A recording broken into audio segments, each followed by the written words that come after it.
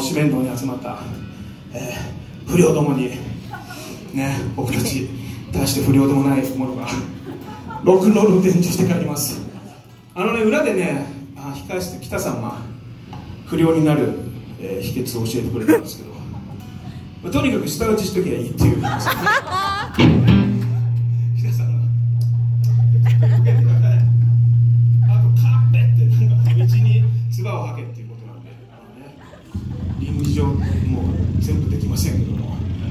最後までね精一杯不良をぶって頑張りますのでよろしくお願いします。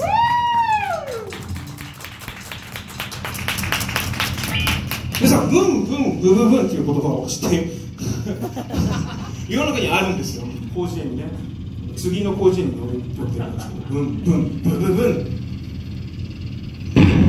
右手を拝借。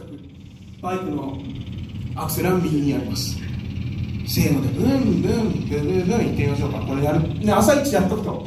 今日ね直樹さんまで持ちますんで。これやってこないとね途中でちょっとねスキップカーズぐらいでもうちょっとしんどいみたい。なあブンブンブンブンブン聞いてきたなと思う時が来るんで。一回やっていきましょうかね。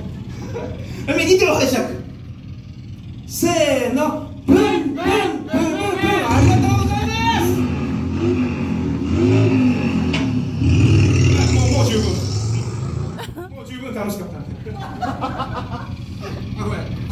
に行きたかったそうそうそうそう。あごめんごめんごめん。なんかこれを穴をもじもじもじもじああごめんなんかどうね大変だね。これ固定するの貸そうかなどんな不良だよ。いいね。ちょっと不良っぽく膝ももっと不良っぽいしゃがみ方あるでしょ？どうしただ大丈夫ですか、いやもう穴がこうん、あでも下打ちしても大丈夫下打ちだけでもね思ってここで書いてもらいたいなと思いますけど。う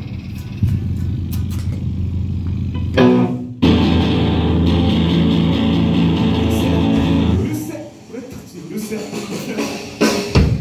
本当朝っぱらからうるさいな12時からうるせえんだよ大丈夫だって自分たちも自分たちもうるさいもんね。ね。